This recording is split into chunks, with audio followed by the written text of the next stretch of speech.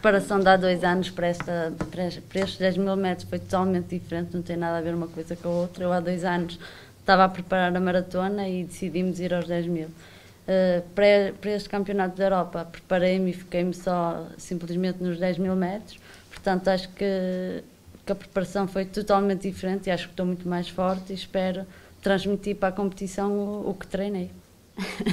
acho que somos todas a bater, não sei, eu acho que este ano o campeonato está muito forte, as nossas adversárias estão todas focadas em tentar, eh, tentar ser campeãs da Europa.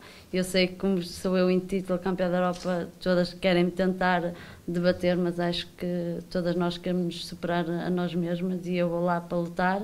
Eh, vou tentar dar o meu melhor e só no fim é que, é que saberemos quem é que sairá de lá com uma medalha. Eu, se ganhar uma medalha, já fico feliz.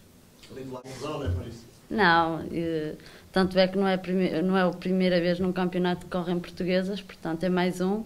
A Sara vai fazer a prova dela, eu vou fazer a minha e no fim, quer ela, quer eu, eh, se, se correr bem, quer uma, quer a outra, estamos as duas para dar os parabéns uma à outra. Pode acontecer aqui o que aconteceu quando a Fernanda Ribeiro foi ouro e a Conceição foi prata? Isso era, era de valor, claro que ficava. Isso seria ótimo para nós e não só para nós, para os portugueses também. Se chegarmos a Portugal com das medalhas, isso acho que, é, acho que, era, que era fantástico. Nesse caso, tu serias a Fernanda ou a Conceição? Gostaria de ser eu a Fernanda, é óbvio que sim. é óbvio que sim.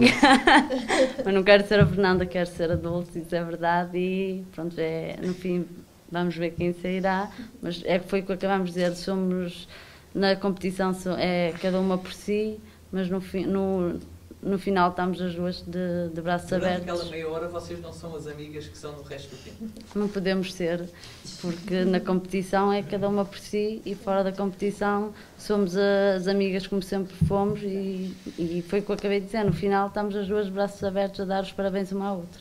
Mas durante aquela